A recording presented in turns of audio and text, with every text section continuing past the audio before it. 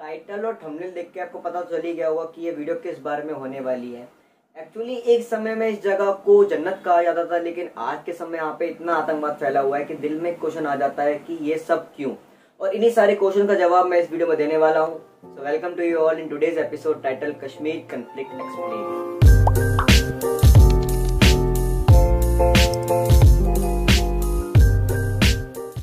video को मैंने तीन पार्ट्स में डिवाइड किया है application of section 370 removal of section 370 and after removal of section 370 इन तीनों पार्ट्स के टाइम स्टैम्प्स आपको डिस्क्रिप्शन में मिल जाएँगे, उस पर टैप करो और जाता आपको देखना है, वहाँ तो स्किप कर दो। ये बात शुरू होती है इंडिया के पार्टीशन के टाइम पे। अब इंडिया के पार्टीशन के टाइम पे इंडिया एक सब कॉन्टिनेंट था अलग अलग रियासतों का।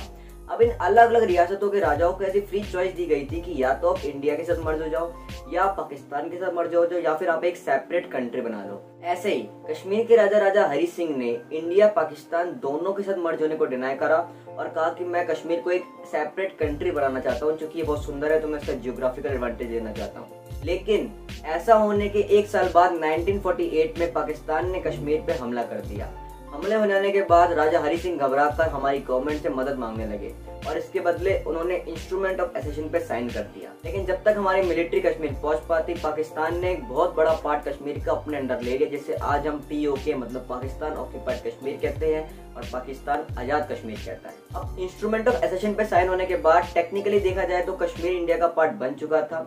वहाँ का रिप्रेजेंटेटिव बनाया गया शेख अब्दुल्ला का, जो वहाँ का पहला प्राइम मिनिस्टर बने। 1950 के जुलाई में एक असेंबली थी, जिसके अंदर सारे रियासतों के रिप्रेजेंटेटिव्स को बुलाया गया था। उनके साथ डिबेट ये थी कि क्या वो अपना संविधान मानेंगे या वो इंडिया का संविधान मानेंगे।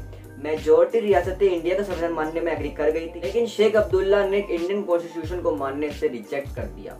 उन्होंने कहा कि इंडियन गवर्नमेंट सिर्फ़ फॉरेन अफेयर्स डिफेंस और कम्युनिकेशन में कश्मीर के मामलों में इंटरफेयर कर सकती है।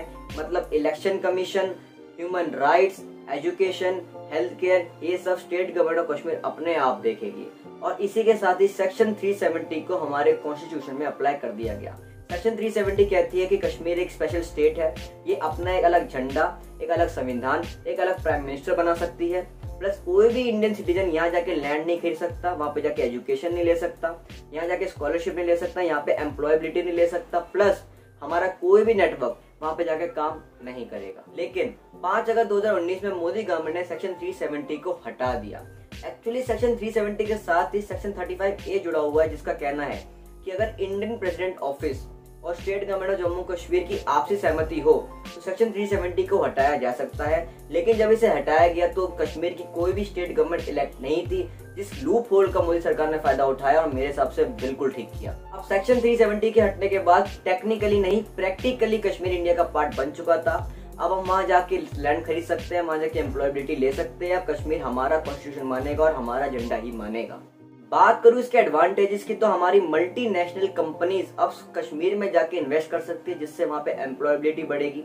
एम्प्लॉयबिलिटी बढ़ने से वहाँ की जो यूथ है, वो टेररिज्म को छोड़ के डेली वेजेस पे जाएँगे। प्लस वहाँ के लोगों को अच्छी हेल्थ केयर और अच्छी एजुकेशन भी मिलेगी। ह्यूमन राइट जैसे इंडिया के अंदर right to information right to speech right to expression इनका भी पार्ट होने का मौका मिलेगा। प्लस वहाँ पे डेवलपमेंट भी और ज़्यादा बढ़ेगी। अगर मैं रिएक्शन की बात करूँ तो कश्मीर की मेजर पॉपुलेशन है सियास मुसलमान के, जिनका कहना है की इंडियन गवर्नमेंट ने उनके साथ एक फ्रॉड कर दिया है। 1948 एक्ट के तहत उनको स्पेशल स्टेट का दर्जा दिया गया था, जो कि अब सरकार ने उनसे छीन लिया है। महबूब मुफ्ती जो बहुत जाने मानता है, वहाँ की उन्होंने कहा है कि ये डार्केस्ट डे है इंडियन कॉन्स्टिट्यूशन का। लेकिन लद्दाख के जो बुद्ध है और कश्मीरी पंडित का इस पे बहुत पॉजिटिव रिएक्शन उनका कहना है कि अब उनकी जो हेरिटेज है उसे प्रिजर्व किया जाएगा। उनको प्रिविलेज मिलेगी एज एन इंडियन सिटीजन जो कि एक बहुत अच्छी बात है। मैं मानता हूँ कि इसको सही कहना या गलत कहना बहुत ही डिबेटेबल टॉपिक हो जाएगा, लेकिन मेरे हिसाब से इसका इम्प्लीमेंटेशन चाहे थोड़ा बहुत ऊपर नीचे हो, लेकिन इसका इंटेंशन बिल्कुल ठीक है। अगर कोई सरकार ऐसा कदम उठाएगी तो वो अपना वोट बैंक भी देखेगी, और अगर ऐसा कदम उठाने के बाद एक सरकार का वोट बैंक कम हो सकता है, लेकिन मोदी सरकार ने एक बोल्ड डिसीज़न लिया, जिसको मैं कहना चाहूँगा मास्टर स्ट्रोक कश्मीर की इंडिया का पार्ट बन जाने से चाइना और पाकिस्तान का जो इंटरफेयर है जम्मू कश्मीर पे, वो भी कम हो जाएगा।